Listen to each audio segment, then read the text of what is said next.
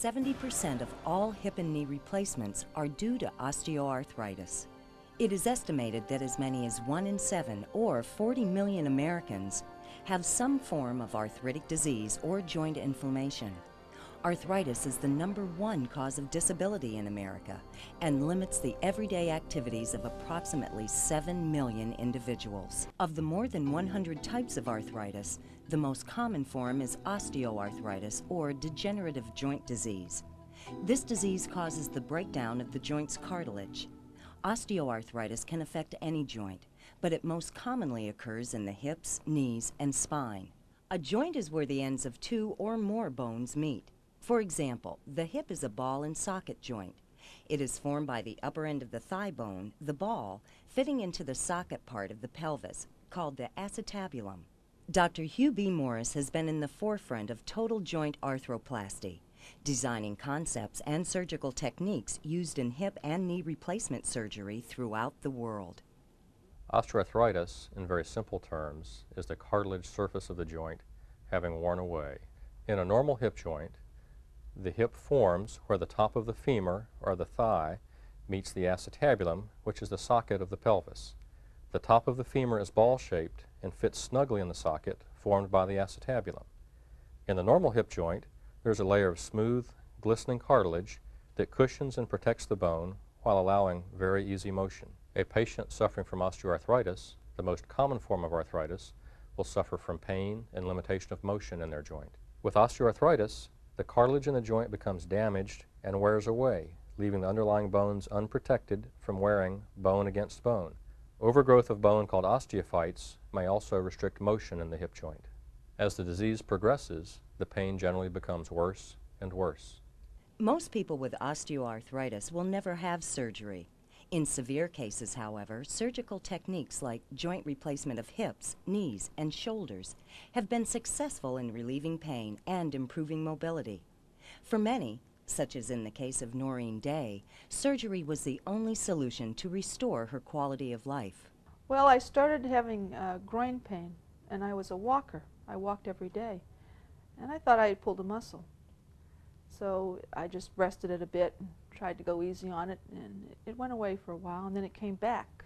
So I finally went to the family doctor, and he checked me out, took an x-ray, and couldn't find anything, and he thought it was a groin muscle too, and I just kind of babied it along for almost a year, and it would come and go. So that's how it started.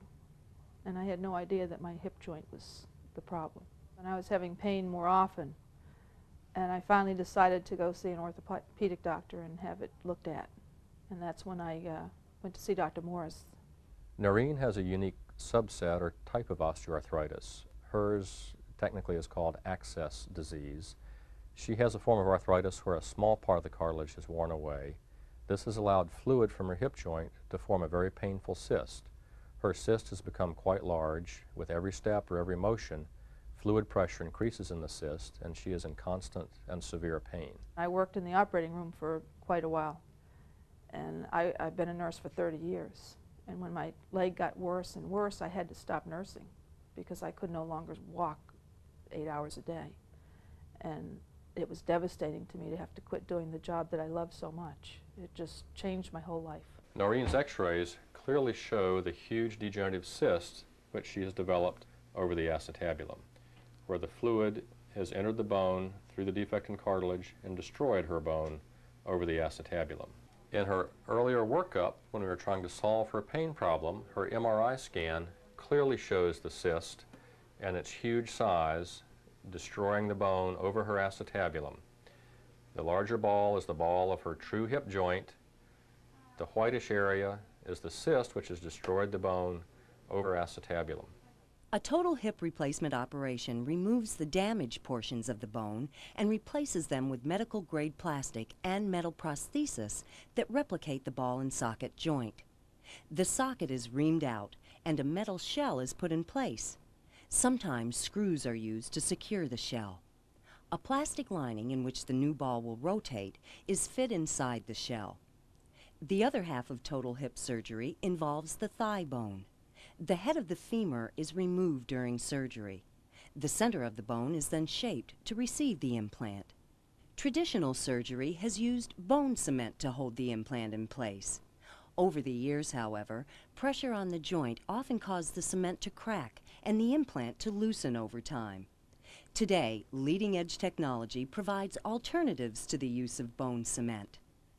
An innovative compound called hydroxylapatite, or HA, is a naturally occurring mineral which closely resembles the properties of natural bone, and it's the predominant component of your tooth and bone enamel. This compound is applied directly to the upper portion of the hip implant. The ball of the stem then fits securely in the socket. Although there is no cure for osteoarthritis, there are a variety of known treatments and management techniques that help people control and reduce the effects of the disease. Research has shown that exercise and relaxation techniques are a vital part of managing osteoarthritis. It can help to decrease pain, increase general fitness, also maintain and increase ability to perform daily tasks.